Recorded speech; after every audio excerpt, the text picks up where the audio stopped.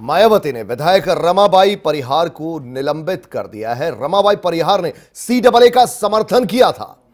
MP के पथेरिया से BSP विधायक हैं रमाबाई परिहार।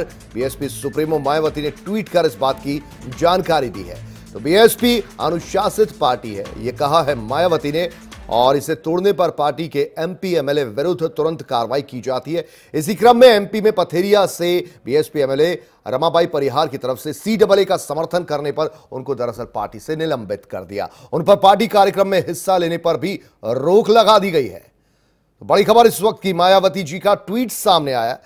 लिखा है कि जबकि बीएसपी ने सबसे पहले इसे विभाजनकारी और संवैधानिक बताकर इसका तीव्र विरोध किया। संसद में भी इसके विरोध वोट दिया और इसकी वापसी को भी लेकर राष्ट्रपति को ज्ञापन दिया। फिर भी विधायक परिहार ने सी डबल का समर्थन किया।